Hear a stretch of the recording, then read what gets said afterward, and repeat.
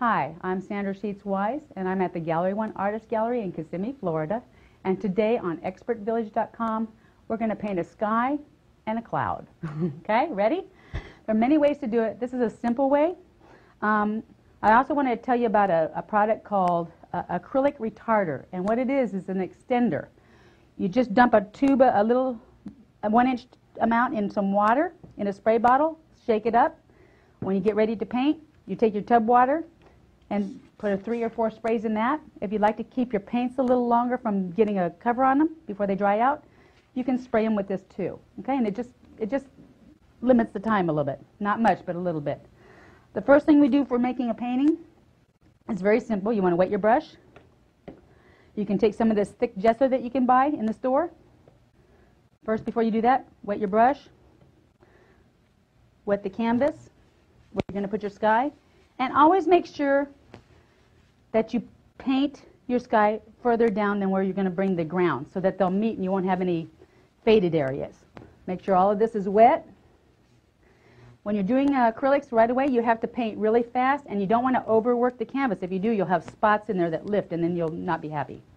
Then what you'll want to do is use one of these on it, okay? so you don't want to do that. Takes a little practice, but don't worry. You can always gesso it over if you don't like it and start painting again. Take a little bit of this thick gesso, paint it on as fast as you can. Add a little water. Get it spread all over where you need it. Go a little further down on your canvas. And then what you're going to do is you're going to take your brush and clean it in your water. Get most of the paint out of it. And take some, get your water out of it too. And take some of your blue, whatever blue you choose to use, and start at the top and paint really fast down. And as you notice as you go down, it'll get lighter. Okay? And you just keep doing that really fast. And as you, if you do, you can also lighten your brush load, okay? And it'll take the lines out of it, okay? Clean your brush if you need to.